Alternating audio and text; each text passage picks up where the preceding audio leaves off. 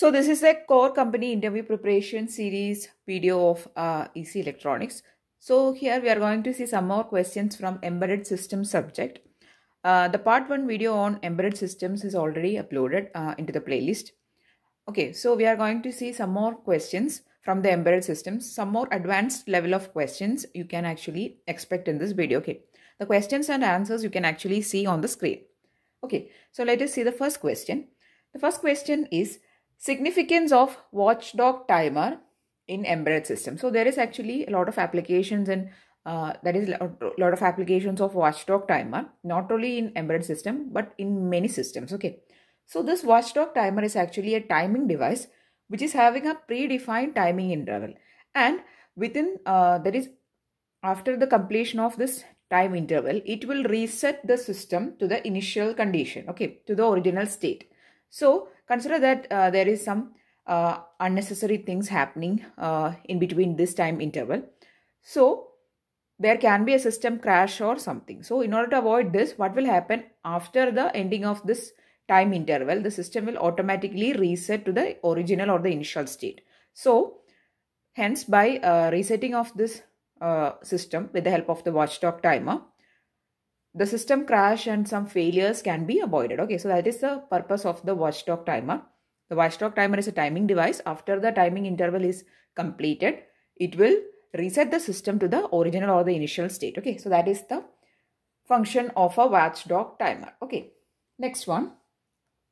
What is the job of a preprocessor, compiler, assembler and linker? Okay, so preprocessor is actually a system which will execute some commands before the code is given uh, to the processor. Before actual processing is done, the preprocessor will do some initial operations or initial processings. Okay, so that is a case of a preprocessor. Generally, some systems will be having a main processor and a preprocessor, and also there is a concept of coprocessor also. Okay, so uh, that is a preprocessor. Now, compiler is a uh, unit which is going to take your high level code and it will be converting the high level code to a machine understandable code that is a machine lang machine language that is ones and zeros okay so that is a function of a compiler next one assembler is actually a unit which is going to take the assembly language and convert that to machine language that is ones and zeros okay then last one is linker so uh, when we are executing some programs within the embedded systems or uh, within any systems for that matter, there will be some predefined functions which are being used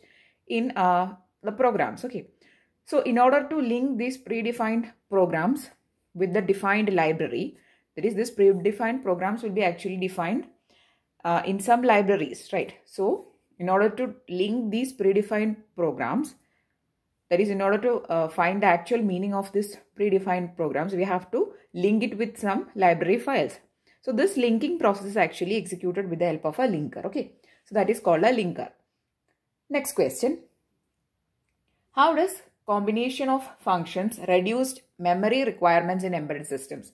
So that is how uh, when we combine uh, the functions, how can the memory requirements be reduced? Okay. So when the memory requirements, that is when we are combining the code, what will happen is that if there is some uh, redundant code or something, then in that case the redundancy is eliminated and also the overhead is eliminated. Okay.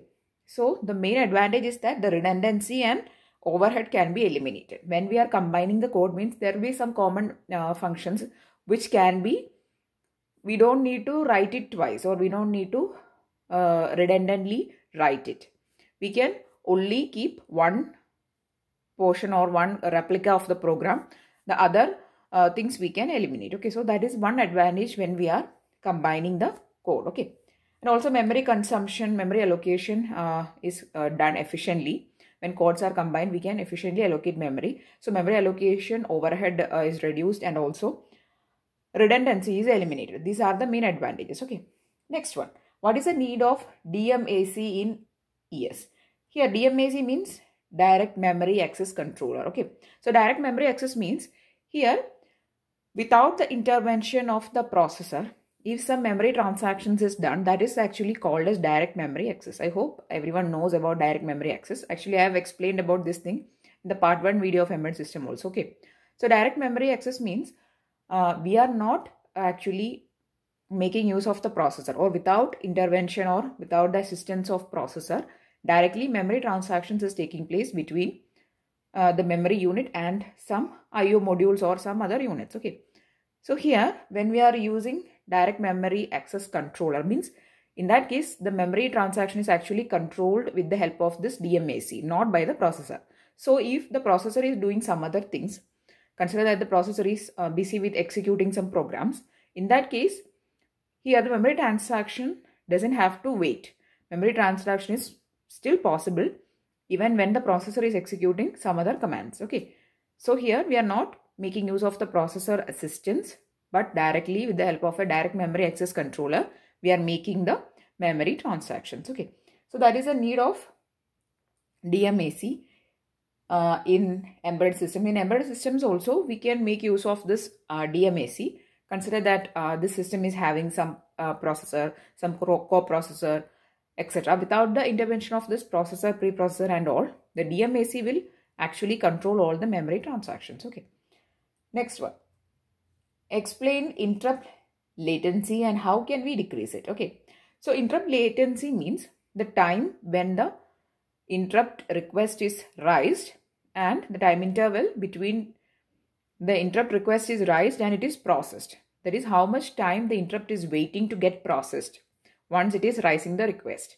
That is called interrupt latency. So it is a time span. An interrupt is generated and it is being serviced. So it, an interrupt is generated and the time it has to wait to get serviced. That is called interrupt latency. Now how can it be reduced? It can be reduced by uh, servicing the interrupts immediately, by prioritizing the interrupts. That is, we know that there are various types of interrupts. So these interrupts are actually some external things. Interrupts are generally uh, generated by the external hardwares or external modules.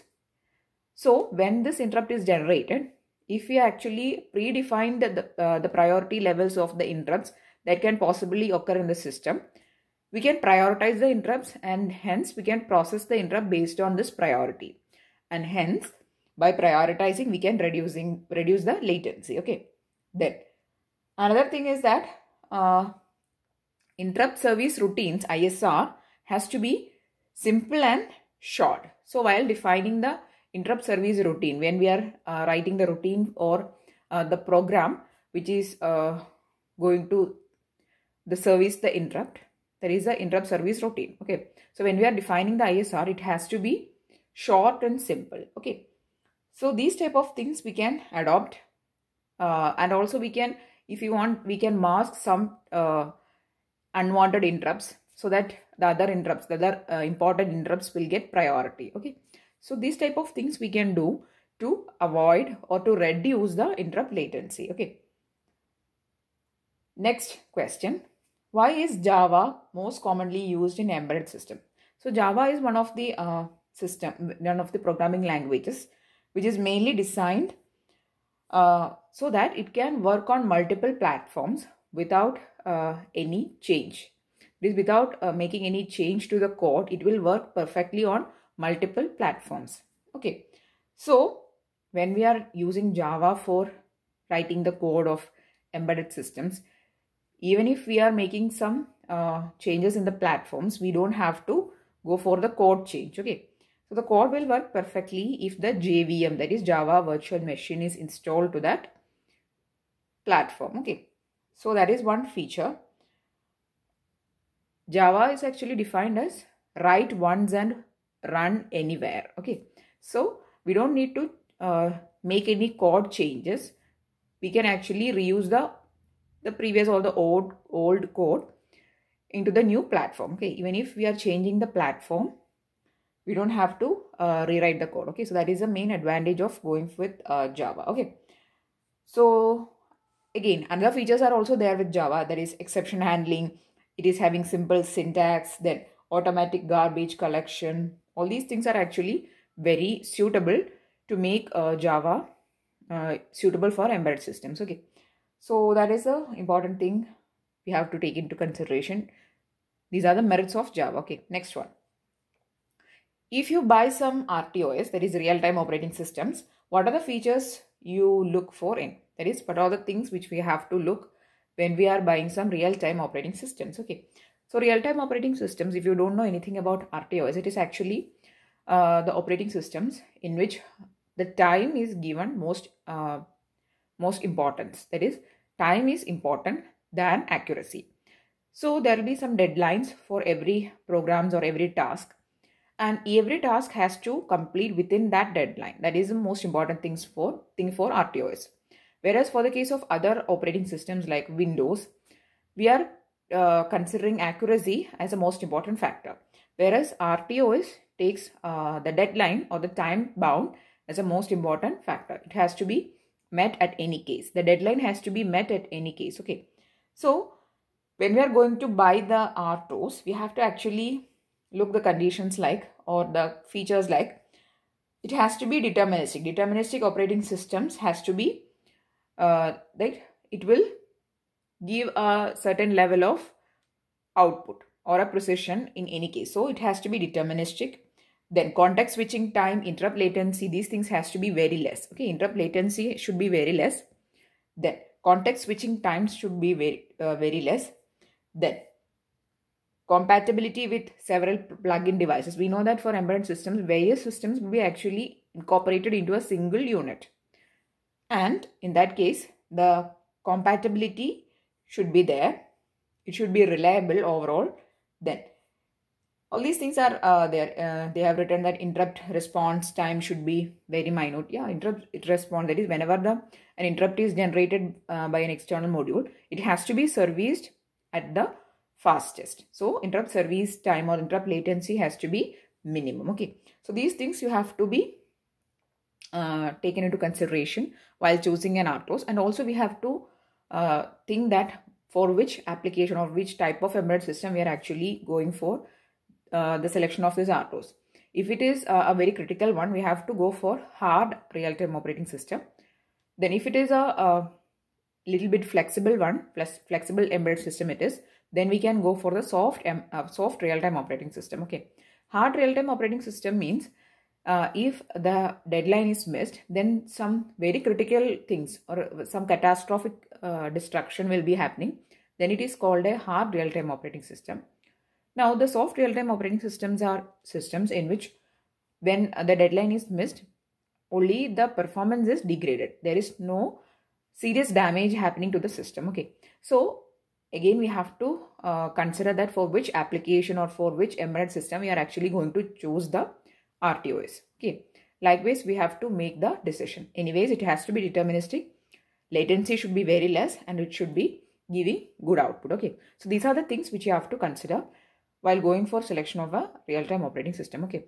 So in this video, we have actually discussed some more application level type of questions from embedded system.